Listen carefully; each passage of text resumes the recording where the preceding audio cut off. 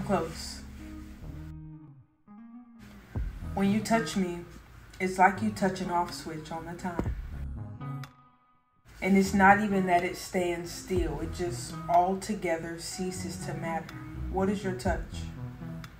That it causes my universe to twirl without confines. And what is your touch? That it draws me to the highest heights of the weakest I've ever been.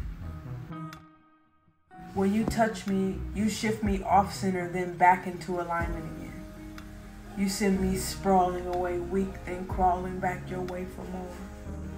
When you touch me, you make doors out of my feelings and open them with your smile. Walk through them with your look. What is your touch?